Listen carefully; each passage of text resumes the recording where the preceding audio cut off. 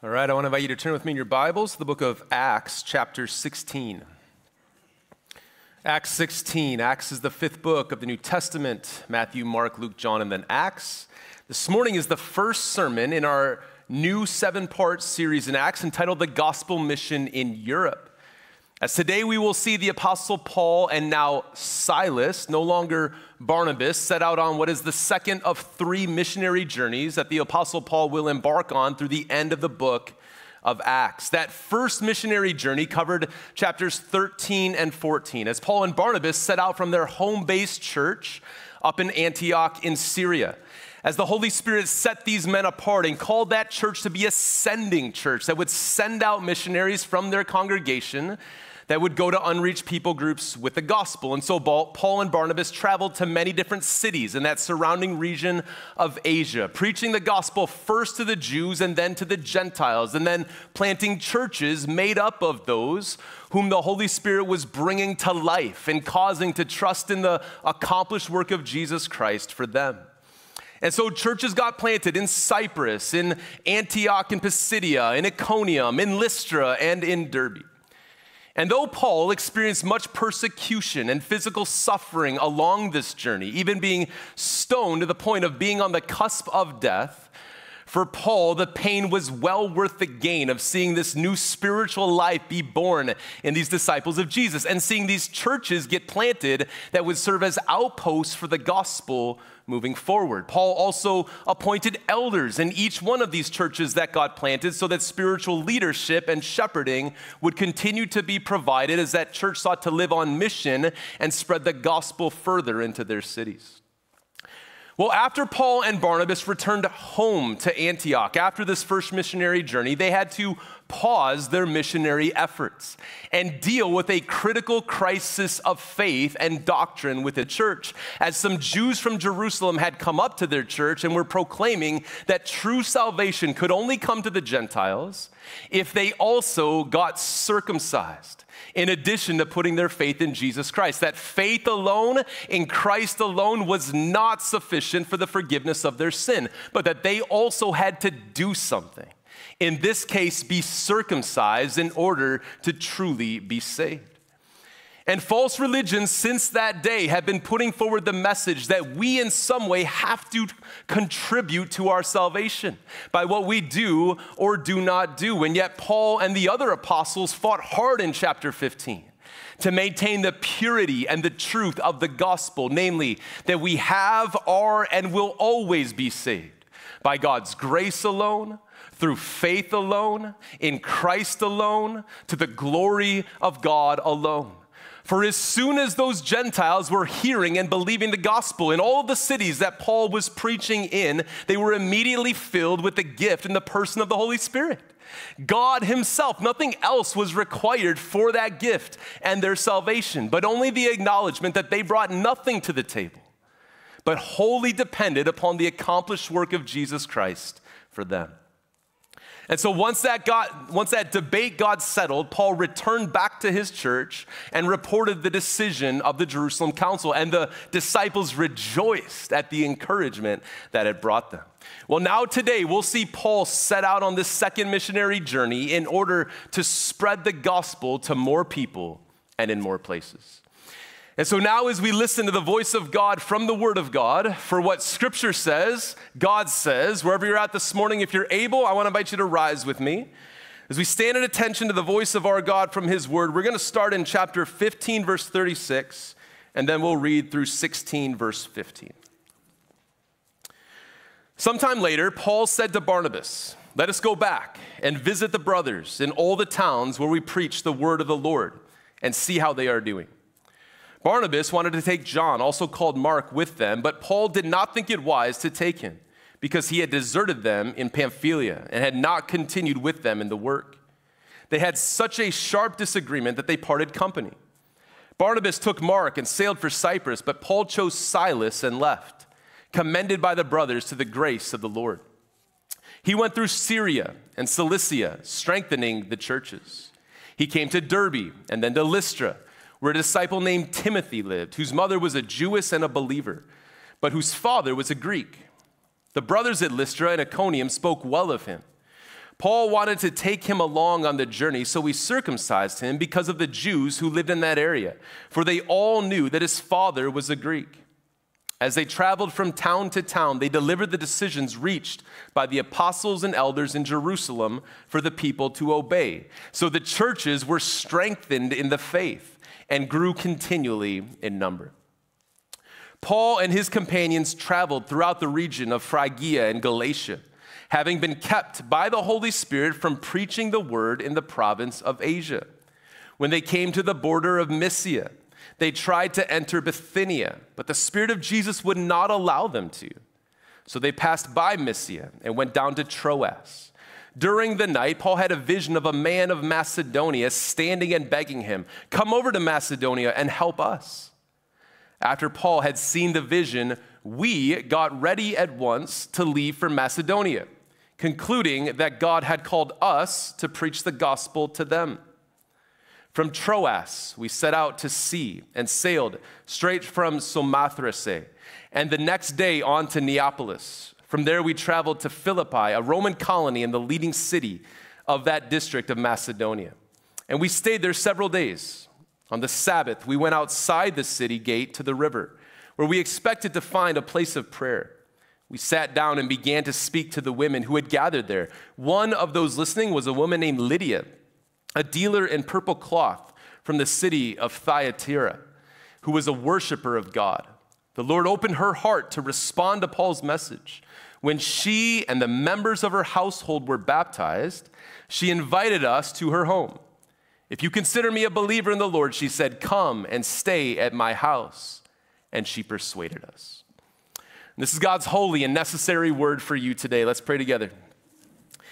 Father, we do not live by bread alone, but by every word that comes from your mouth, O God.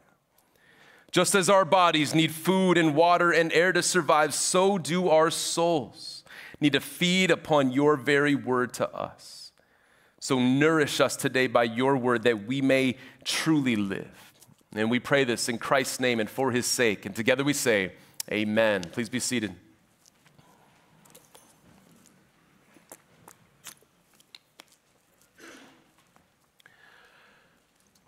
Paul's second missionary journey, that technically started at the end of chapter 15 and that will run through the end of chapter 18, was a very significant missionary effort.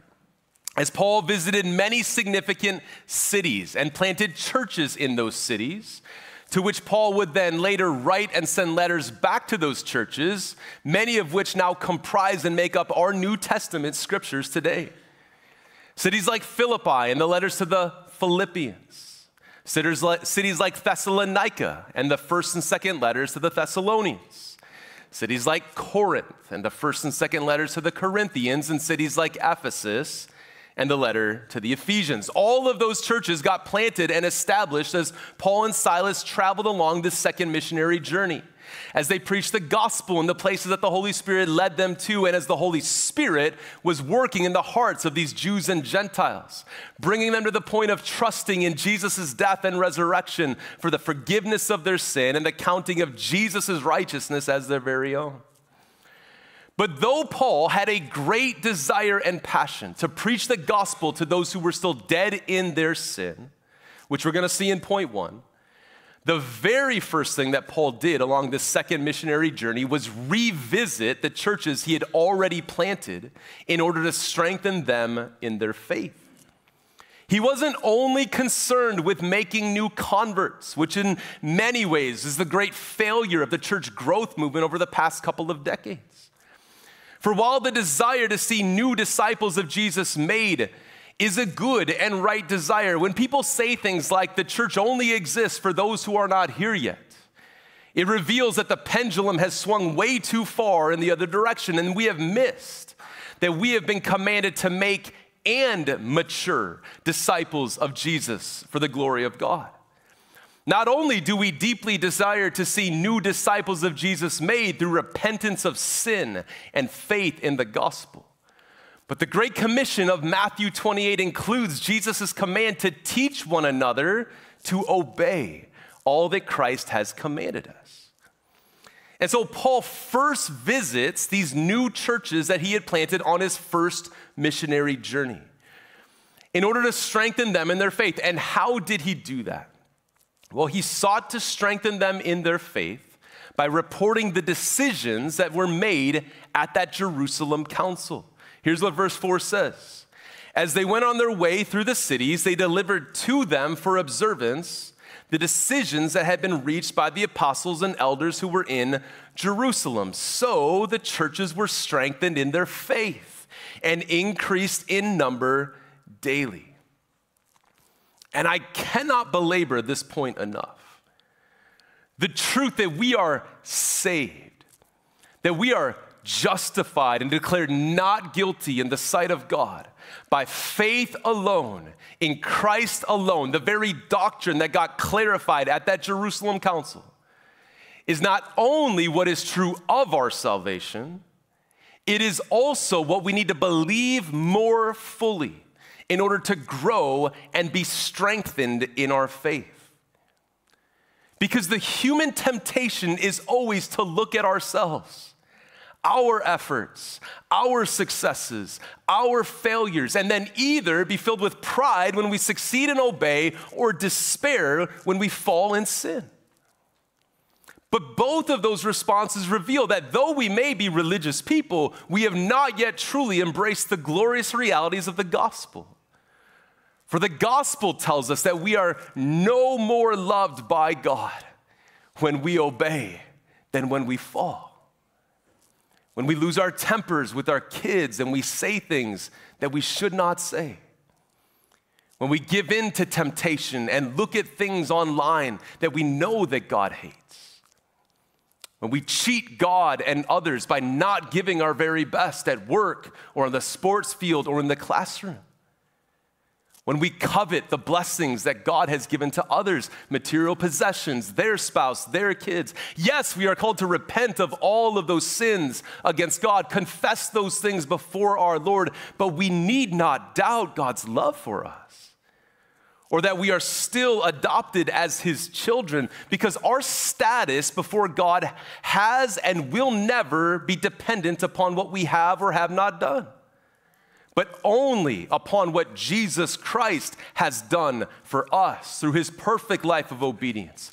his death on the cross, and his resurrection from the grave.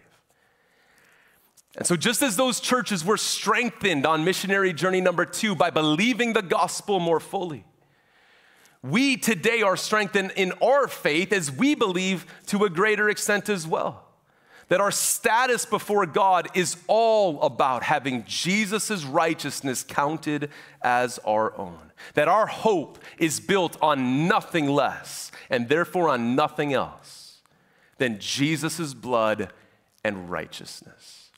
That we dare not trust the sweetest frame, but we wholly lean on Jesus' name. It was the doctrine of justification by faith alone in Christ alone that Paul leads out with on missionary journey number two.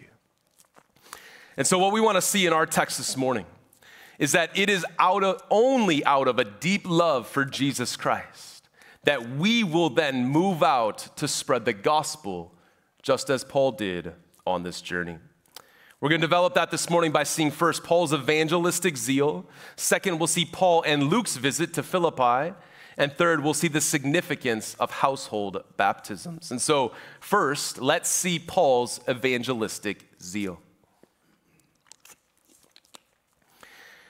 In chapter 16, we see Paul display through his actions a deep passion and zeal for others to come to saving faith in Jesus Christ.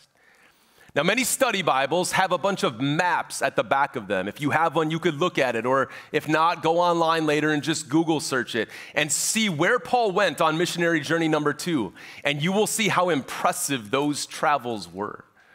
For not only did Paul first revisit the cities that once tried to kill him and take his life, but Paul ended up, mostly by foot, though with a little sailing by ship, as far north at the end of our text today as the city of Philippi, which is in modern day Greece, a 1,200 mile journey from where he started in Antioch in Syria. That's about the same distance as Dearborn down to Orlando, Florida.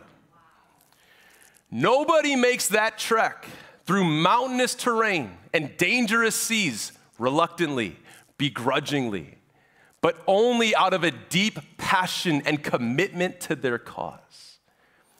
And in Paul's second letter to the church at Corinth, he reveals what it is that is driving him to do all that he does in each of these missionary journeys. Listen to 2 Corinthians 5:14.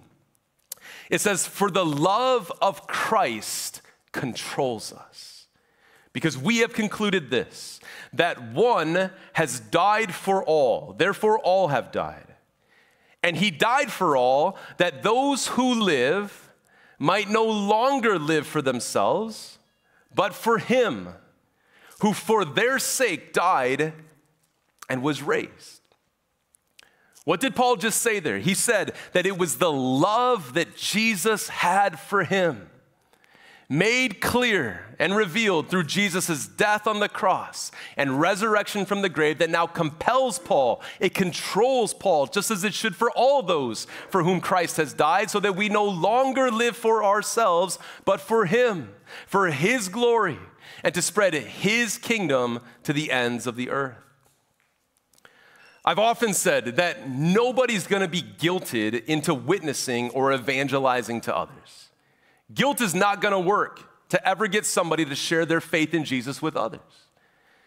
The only thing that would cause someone like Paul to travel 1,200 miles in one direction or to give us the boldness to open our mouth and to share our faith in Jesus with a coworker, a neighbor, or a family member is that the love of Jesus Christ has compelled us to do so. The person who has been changed by Jesus' love for them, so that our love for Jesus now becomes the strongest love that we have in all of our life, that person will be the person who opens their mouth, who witnesses, and who testifies because we talk about the things that we love the most. And this was true for Paul who then sets out on missionary journey number two in order to plant other churches and share the gospel in regions that he had not gone to on the first journey. And yet, as he embarks on journey number two, we read some very interesting words in chapter 16 that Paul had been forbidden by the Holy Spirit to speak the word in Asia. And when they had come up to Mysia, they attempted to go into Bithynia, but the Spirit of Jesus did not allow them. Now, the Holy Spirit, the person of the Holy Spirit, whom Luke is clearly showing in these verses to be the third person of the Trinity, God Himself, by calling Him the Spirit of Jesus, as Jesus has already been proven to be God through His resurrection from the grave. The Holy Spirit is leading Paul into the places that he wants him to go through closed door after closed door. Now, Paul eventually receives a vision in verse 9 from a man from Macedonia calling him to come there. But up until that point, all Paul was receiving was, No, not here. No, not here. And he had to wait for the Lord to say, Yes, go here. And friends, how often do we pray for God's direction and guidance in our life?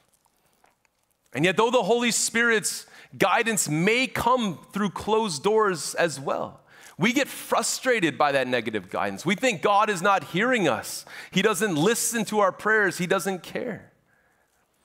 But these closed doors are often true guidance of preventing us from going into the places that God has not called us to go, so that we might, in God's time, end up in the exact places He has called us to go and where we will receive His blessings. And so eventually, God's will for Paul was made clear. And he set sail from Troas until they ended up in the prominent city of Macedonia called Philippi, which was a Roman colony. And so, second this morning, let's see Paul and Luke's visit to Philippi. Now, students of the book of Acts over the last 2,000 years have noticed that all of a sudden in chapter 16, as well as in chapters 20 and 27, this little word we starts to appear over and over again. The first occurrence was in verse 10. And when Paul had seen the vision, immediately we sought to go into Macedonia, concluding that God had called us to preach the gospel to them.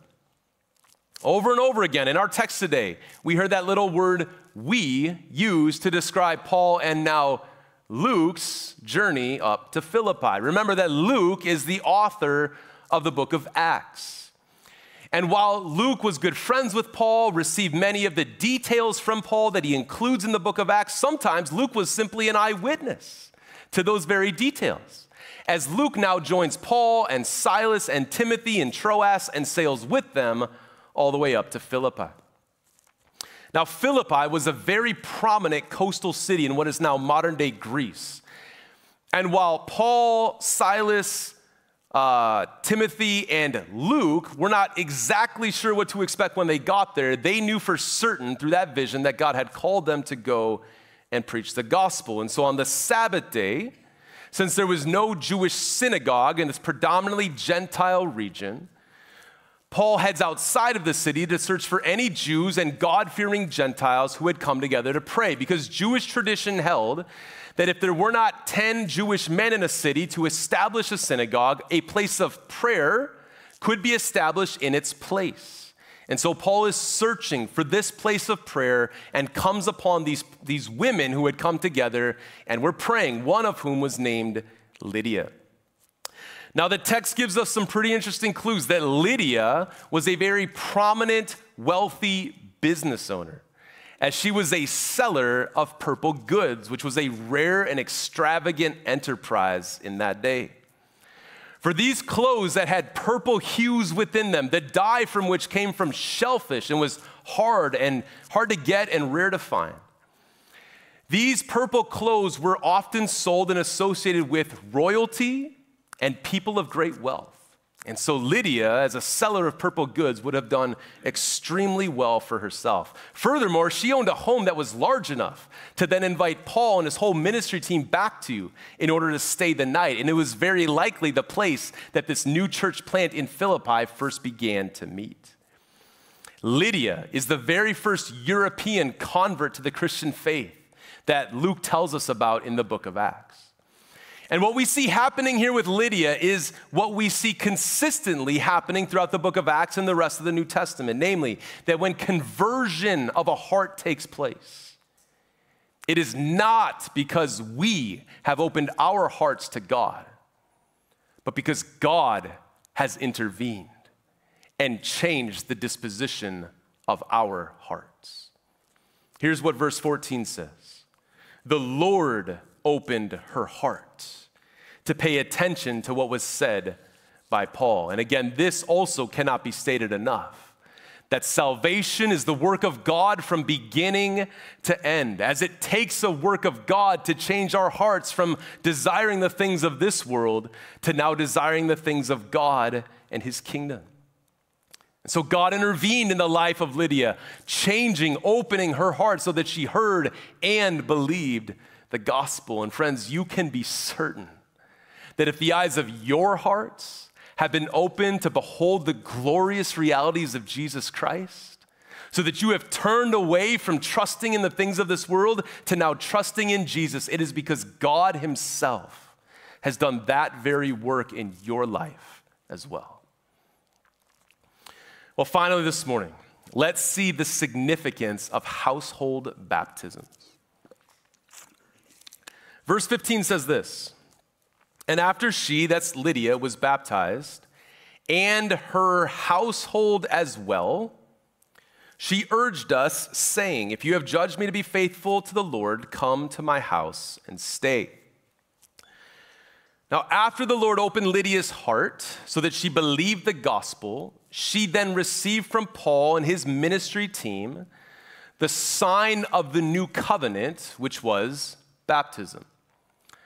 But not only did Lydia receive the sign of baptism upon her body, so did her entire household, of whom we're told nothing else about. Now, when Matt stood up here this morning and made his profession of faith in Jesus Christ, Matt was not baptized. And that's because, as he said, 16 years ago, as a baby, he received the new covenant sign of baptism at that point, long before he had any faith of his own. Next Sunday, when Jonas Englert stands up here and makes his profession of faith, the same will be true of him. However, a few weeks back, when Glenn Smith stood up here and made his profession of faith, he was then immediately baptized because he had never received the new covenant sign of baptism prior to that point. So, what is going on here? You see, when God gave Abraham the sign of the covenant in the Old Testament, he gave Abraham that sign of circumcision because Abraham had already believed the gospel promises of God. Abraham, as we saw two weeks ago, was justified before God, declared righteous in God's sight by faith alone in God's gospel promises. And then Abraham received the sign of a covenant sealing the righteousness that was now his. The sign didn't save him, it wasn't required for his salvation. He was already saved by believing in the gospel promises. And so, whenever someone comes to saving faith in Jesus Christ later in life, as Glenn did, as Abraham did, and as all these adults in the book of Acts are, as first generation Gentile believers, they are to receive the sign of baptism at that point, sealing the salvation that is theirs by faith. It was circumcision in the Old Testament, baptism in the New. But in Genesis 17, God told Abraham that not only was the covenant sign to be given to those who had faith, but also to their entire household, to their children, and even to the servants that were part of that household. They also were counted as these covenant members set apart for God, though they also had to come to saving faith at some point later in their life. And so when we see Lydia come to saving faith and have her household baptized, when we see the Philippian jailer come to saving faith and have his household baptized in next week's text, what we are seeing is those patterns from the Old Testament maintained and repeated still in the New Testament. Namely, that those who come to saving faith in Jesus Christ, when they repent of their sin and trust in Jesus for the forgiveness of that sin, they are then to be baptized, receiving the covenant sign that seals the salvation that is theirs through faith, and so is their entire household, their children. And so, we as a church, as well as every Reformed and Presbyterian church, baptizes the infants of professing Christians because we understand this to be how God has instructed the covenant sign to always be applied since Genesis 17 onward. This was the pattern of the early church as well. And why you don't see Paul or any of the apostles address this issue in any of their letters which you would think you would see if a long standing practice for God's people was already changed. But it wasn't. The same pattern has been happening since Genesis 17. It wasn't until the 16th century when, out of the Reformation period, the Anabaptists, who saw the error of the Catholic Church as they were proclaiming that an infant that got baptized was saved, entered, entered into a state of grace, having their original sin washed away, that they rightly rejected that understanding but then completely rejected the covenant sign being placed upon infants. But Martin Luther and John Calvin, the other reformers, they didn't come to that conclusion because they understood that the misuse of something does not negate its proper use. Let me say that again. The misuse of something ought not to negate its proper use. Just because some get drunk with alcohol does not mean that the proper use of alcohol cannot be partaken of. Just because some within church history have misused and abused the covenant sign does not mean we don't apply that covenant sign in its proper form. And so, just like in the old covenant, children of professing Christians are to receive the new covenant sign of baptism. And then we work as parents and as a church, and we pray that just like Matt did today and Jonas will do next Sunday, that child comes to saving faith in Jesus Christ and will one day profess that faith, completing their baptism.